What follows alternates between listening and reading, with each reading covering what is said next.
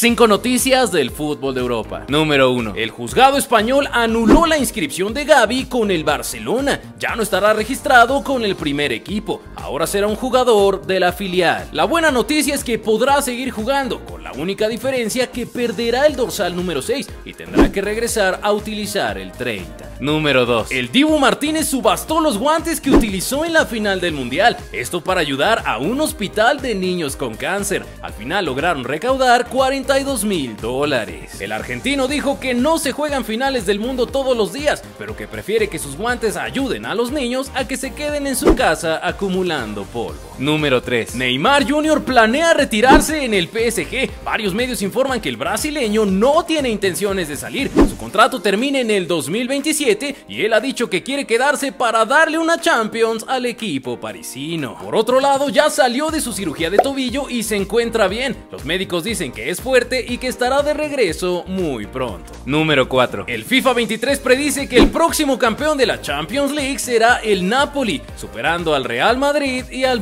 Bayern Múnich. Recordemos que hace unos meses el FIFA también predijo que Argentina sería el campeón del mundo. La pregunta es, ¿tendrán razón esta vez? Número 5. Aficionados en España le lanzan billetes falsos al Barcelona, esto como protesta y por las recientes acusaciones de que compraron árbitros en la liga. Por su parte, Joan Laporta salió a dar la cara diciendo que el Barça es inocente y que estas son falsas acusaciones, pero que al final ellos se van a arrepentir de todo lo que están haciendo.